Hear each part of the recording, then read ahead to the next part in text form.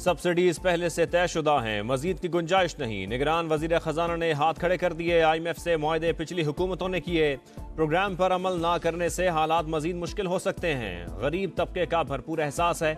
उन्हें मजीद मुश्किल से दो चार नहीं कर सकती। डॉक्टर शमशाद अख्तर की मीडिया से गुफ्तगू।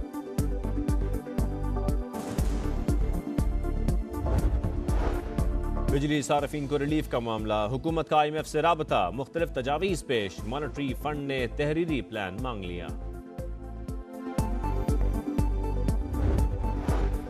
सिपा सलार की जेहलम में टिल्ला फायरिंग। रेंज आमद, मशकों का मुआयना, जवानों की महारत और जज्बे की तारीफ़। आई एस पी आर के मुताबिक army chief general Asim Munir को मशकों के अगराज व मकासद पर ब्रीफिंग भी दी गई।